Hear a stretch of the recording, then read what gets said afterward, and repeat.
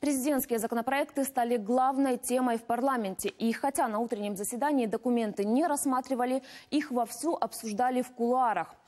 Какие фракции за документ, какие против, о чем спорили и на чем настаивали депутаты, обо всем в нашем материале.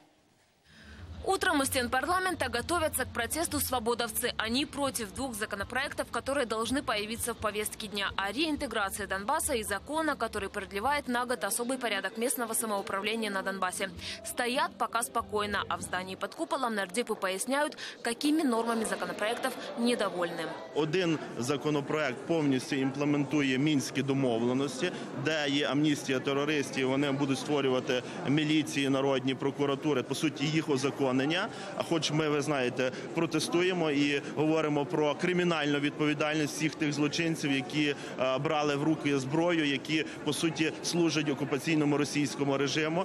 І е, там є цей законопроект, який вже був прийнятий е, в 2014 році. Але чому не працював цей законопроект про особливий статус Донбасу, так званий три роки? Тому що не працюють мінські домовленості. А вот в блоке Порошенко настроены совсем по-другому. Только что вернулись с заседания фракции, на котором о необходимости принятия документов говорил президент.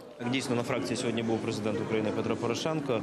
Він е, дуже чітко сформував свою точку зору, своє бачення. Законопроект, який внесений був за ініціативи президента, це законопроект про реінтеграцію Донбасу, про відновлення української влади на Донбасі, про е, гарантії тих людей, права яких е, знищуються і попираються на території тимчасово окупованій. Тут є ряд тих важливих нововведень і термінологічних щодо е, окупації, е, посилання на самооборону статуту е, ООН. Тут прописуються там моменти реінтеграції, захист е, культурних, соціальних моментів, тобто переходу з АТО нарешті. законопроект про реінтеграцію. В ньому по суті є такі дуже важливі основоположні речі, пов'язані з визнанням збройної агресії на території України. З тим, з визначенням держави-агресора конкретно, з тим, що фактично воєнні дії відбуваються сьогодні на сході України, і це дуже правильна е, позиція. Що ми насправді вже після трьох років війни визнаємо це не АТО, а збройною агресією проти України. На фракції була дискусія з приводу того, чи варто легалізувати мінські угоди е, в е, національному законодавстві. Именно пункт о Минских соглашениях стал камнем преткновения для Народного фронта. Эту норму они хотят из законопроекта изъять. Из-за отсутствия единого взгляда на законы документы решили выносить в зал на вечернем заседании и взять дополнительные часы для консультаций. Ми працюємо з коаліцією, ми працюємо з депутатами. Якщо цього не буде зроблено, це буде розвал міжнародної коаліції. Я вже сказала, це буде ескалація зі сторони Росії. Я думаю, що Народний фронт зрозуміє, і ми будемо йти зараз, пробувати знаходити ту межу допустимого компромісу і умов для того, щоб, щоб не зняли санкції, для того, щоб нам надали летальну зброю. Кроме поддержки законопроектов самой коалиции, голосов которой для решения недостаточно, большинству необходима также поддержка других нардепов и фракций. Оппозиционный блок «Самопомощь» и «Батькивщина» голосовать «за» отказываются.